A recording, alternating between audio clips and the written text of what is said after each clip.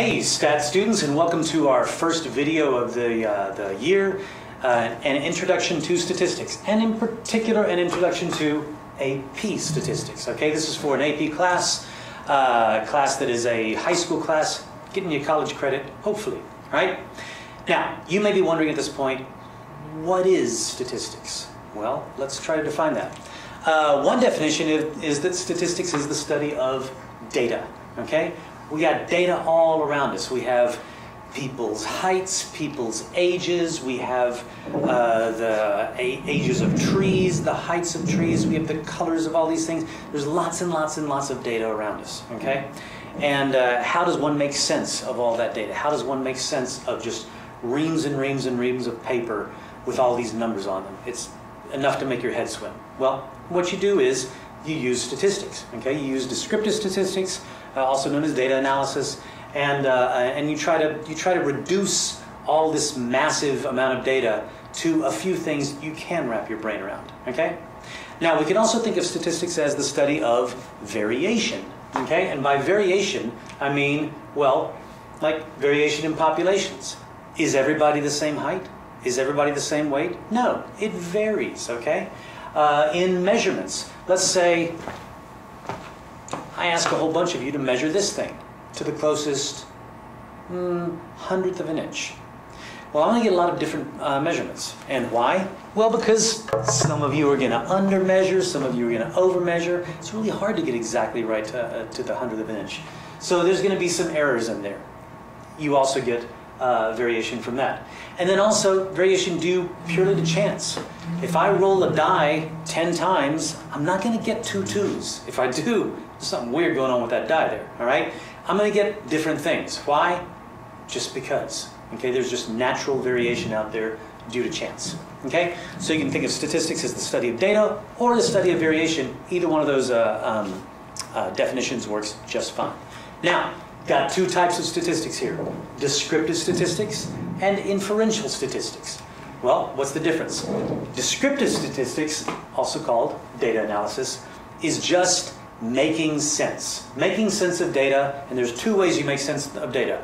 You summarize, so you don't have all, that information, you just have a couple of key points, or you draw a picture, you illustrate it. And that's, that's another way that our human brains can, uh, can, can look at a bunch of data. If you draw, draw a picture that represents it, we can look at it and we can say, ah, okay, now I kind of see what's going on there. right?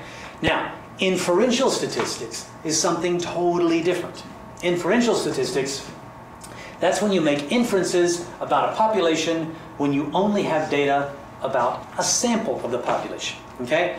And this brings up the question what do you mean sample? I'll show you. Okay?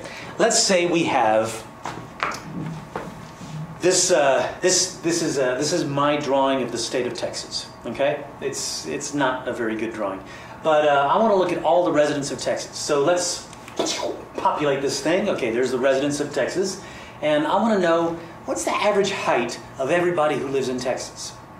Well, I don't know what it is. It does exist, all right? There is a number that is the average height of everybody that lives in Texas. You know, it might be 67 inches, might be 66, might be 66.5289435, I don't know. Uh, but it does exist. It definitely does exist, okay? And that number is called mu. That's a Greek letter there, mu, and it's the Greek equivalent of m, and we use mu because it stands for the mean. Okay? So that would be the average height of all the residents of Texas. That's what mu is going to be. Now, am I going to actually get all the people in Texas and walk over to them one by one and measure their height? No, no, no, no, no, no, no, no. Why not? Because I'm not crazy. That's why I'm not going to do it. So what am I going to do instead? Well, what I'm going to do instead is I'm going to take a little sample. Okay? I'm going to take a sample of the people in Texas, which is just a subset of everybody there, and I'm going to measure that sample. And that sample is going to represent everyone here. Okay? And now you may be thinking, yeah, but what if it's a weird sample? What if you happen to grab like all the really short people or all the really tall people? Well, you can't be sure that you won't. But there are things that you can do that we will study that make that really, really unlikely that that's going to happen. Okay? And we, like I said, we will study what that means. So uh, I take this sample, I measure the, uh, the average height of those people, and what do I get? I get the average height of this sample of residents in Texas. All right, and that the, the symbol I use for that is an X with a little line over it. We call that X bar. Okay, you're going to find that, stati- that statisticians have really uncreative name for names for things, and so when you put a little line over the X, it becomes X bar. All right. Uh, so, what is X bar? X bar is the average height of this sample, and X bar is an estimate of mu. Okay? So we use the sample to represent everyone, and then we use the sample mean, the sample average, to uh, be an estimate of the population average. Okay? That's what inferential statistics does. Now, if you can measure the whole population, so let's say instead of measuring the average height of everybody in Texas, I want to know the average height of all the students at my school. Well, I can do that. There's not that many of them. I'll just line them up and I'll measure them, okay? So if you can do that, then that's called a census. A census is when you measure the whole population, all right? Usually, you can't take a census because usually you're looking at populations that are just so big that's, that's unreasonable to think that you can do it, okay? But every once in a while you can. So when you can do that, the measurement that you take is called a parameter, okay? And that's like mu. That's the, the example that we saw before. So a parameter is a measurement that describes the entire population. If you can't measure the entire population, then what you do is you take a sample, and the measurement of that sample is called a statistic, like x bar. And we saw that the statistic x bar is an estimate of the parameter mu. Okay? So you got populations, and the numbers that describe those populations are parameters. And then you have statistics, and then you have samples of the populations, and the numbers that describe those samples are called statistics. And statistics, as we saw, are are estimates of the parameters. Okay? Now, you may be thinking, yeah, but your statistic is going to depend on the particular sample you take. Good thinking. You're absolutely right. And we'll talk about the consequences of that. Okay, so this here, that is what inferential statistics is. Okay? In a nutshell, this is fall semester along with a couple of other topics. This is spring semester. Okay? That's what our year looks like. So, uh, once you've studied statistics, you, uh, you start to be able to uh, answer questions like uh, this question right here. Let's say I survey 50 people, and 40 of them say that they prefer chocolate over vanilla ice cream. Well, is that enough for me to assume that most people in the world prefer chocolate over vanilla ice cream? Or is it likely that half the world loves vanilla and I just got a weird batch of people? Hmm, good question. How do you answer that? By studying statistics. Okay? Uh, here's another one. If 10 men and 40 women apply for five openings at a company and all the candidates are equally qualified and only men are hired, is this evidence of gender discrimination? Sure looks like it, but is it? Or maybe does that just happen by chance? Like we said, like we said earlier, there is variation in the world that just happens by chance. Maybe that just happened by chance. Huh. We'll look at questions like this too. And then there's, uh, uh, if I survey 500 people and 48% of them say that they plan to vote in the next election, what does that mean? Will exactly 48% vote? Or is it going to be like between 47 and 49, between 46 and 50? Uh, what's, what's my margin of error there? Okay, how, how, how close am I?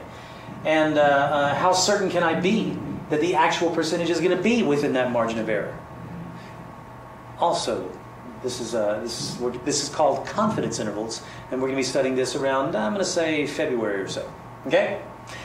Uh, so, what are the topics we're going we're going to study? Like I said, we're going to start with descriptive statistics, then we're going to look at how to gather data effectively, and then we're going to look at some probability rules, and then we're going to take those three things and we're going to use them to study inferential statistics. And like I said, fall semester, spring semester, and that's going to be our class. Okay? So, uh, now let's talk a little bit about data. Okay, two types of data. What are those two types? We have quantitative and categorical. What's the difference? Well, quantitative is exactly what it sounds like. It's numerical data. Okay, it's uh, the height of a tree, the number of letters in the last name, ounces in a cup of coffee, all those things. How would you measure those things? Using numbers. Okay, it is not your eye color. Okay, all right, because that's that's not a number. Okay, it's also not things like zip codes or the number on a jersey or something like that. Uh, because zip codes and numbers on a jersey are numbers, but they're numbers that aren't really counting anything or measuring anything. So a good way to, uh, a good rule of thumb to use if you're thinking, well, this is numerical, but I'm not sure it's quantitative, ask yourself, are there units? Are there units involved? Okay? The height of a tree, I would measure that in feet or perhaps meters. The number of letters in a last name, well, it's a number of, le- I'm counting the letters. The letters are my units ounces in a cup of coffee. There are my ounces. There's, there are my units right there. Uh, so that's one thing to think of. And then another thing to think of is, would I ever take the average? Okay? So uh, if let's say I took everybody's phone numbers, that's a bunch of numbers. Is there any reason to ever average those phone numbers? No. That's categorical data. That's not quantitative data. Okay? Uh, but let's say I took, uh, I was, measured, I was uh, counting the letters of everybody's middle name. Would I ever take the average of that? Yeah, I might if I wanted to know, like, you know, what's the average length of a middle name? I can see doing that, even though it'd be weird. I can see doing it. Uh, so that that would be quantitative data. Now, categorical, what does that mean? It means not quantitative. that was easy. Okay. So your favorite color, whether or not you support the death penalty, uh, the breed of a dog, and like I said, zip code. Uh, let's look at this one for a second. Whether or not you support the death penalty. Okay, what are the categories there? Yes, no. Oh, okay. Um, there are also other ways of categorizing data. You can also say that there are two types of data, univariate and bivariate. And uh, those of you who are into your uh, uh, prefixes, you know that this is one and this is two. This would be one variable data and this would be two variable data. One variable data like what?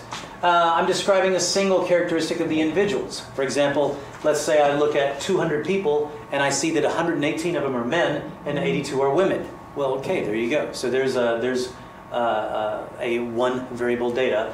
I've uh, just measured the, the gender and I've seen that 59% of them are male, 41% are, are female. Or perhaps I would want to know what their uh, favorite type of ice cream is. Okay, we have two desserts that we're offering tonight. We have chocolate chip ice cream, we have mango ice cream. And uh, so I survey the room, and I find that 52% of them prefer chocolate chip, and 48% of them prefer mango. Again, one variable. Okay? Now, what about two variable data? Well, it's when you describe two characteristics. What if I asked both of these questions of everyone? Well, then I would have bivariate data. Then I could put in a little table like this, and I'd say, let's see, I got 104 people wanting chocolate chip and, and 96 people wanting mango. And then I would look at the number of women. Let's see, from this table here, I can see that, uh, well, let's see, everybody likes, uh, well, there, there are more men than women, uh, but it seems like the men have a serious preference for chocolate chip.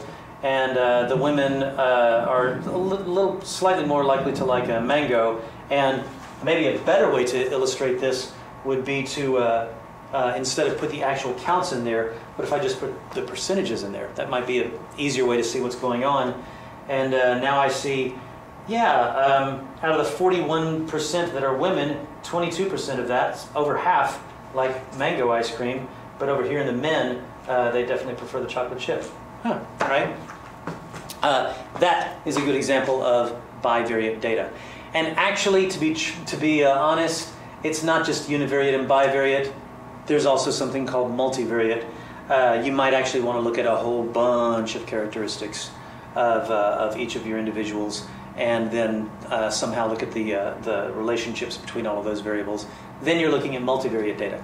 In this class, we're gonna we're gonna uh, uh, restrict ourselves to univariate data and bivariate data. In your next stats class, you'll probably look at multivariate data. Okay. Now, uh, speaking of next, uh, that's it for this video. Now it's time to uh, uh, prepare ourselves for the next video, which is going to be displaying and describing categorical data. Okay? Until then, adios.